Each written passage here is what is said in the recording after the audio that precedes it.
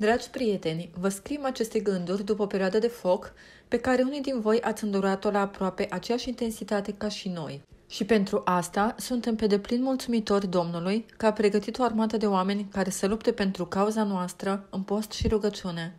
Credem că fiecare lacrimă, fiecare rugăciune făcută cu durere pentru noi, fiecare gând de bine a ajuns la tronul Tatălui. Și atunci când eram acolo închiși, când nu avea nimeni acces la noi, când ne aflam doar noi și Dumnezeu, venea El și ne alina durerea din inimă.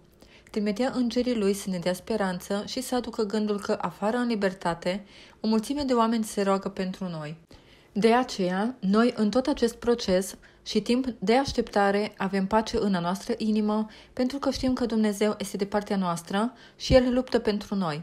Am avut nevoie de un timp de reacomodare, un timp în care să ne punem gândurile în ordine și să înțelegem ce s-a întâmplat de fapt cu noi, să luptăm cu durerea absenței lui Matias în casă și în brațele noastre să înțelegem ce vrea Dumnezeu de la noi și să învățăm să luptăm pentru El.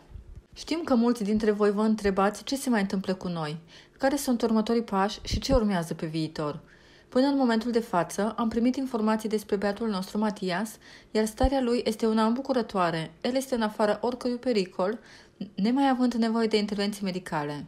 Am avut întâlniri cu diversi avocați, cu reprezentanții primăriei, am încercat orice demers posibil în legătură cu Matias, care acum are patru luni.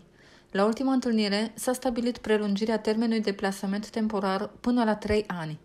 Am reușit să schimbăm avocatul din oficiu cu unul pregătit pentru astfel de situații.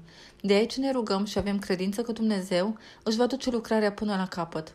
Aici avem nevoie de susținerea voastră în continuare. Chemăm din nou la luptă armata de oameni credincioși care s-au unit pentru noi și avem credință că tot ce începe Dumnezeu va duce la bun sfârșit. Rugați-vă ca Matia să ajungă din nou acasă, unde este iubit atât de mult și așteptat cu atâtea lacrimi. Rugați-vă pentru avocați, autorități, pentru toți cei care vor avea un cuvânt de spus în ceea ce se va întâmpla cu bebelușul nostru.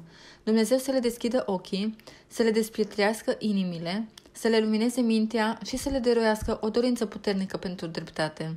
De asemenea, orice sprijin financiar ne este de ajutor acum. Mulțumim din inimă celor care deja ne-au fost binecuvântare și în acest fel. Exod 14 cu 14 Domnul se va lupta pentru voi, dar voi stați liniștiți.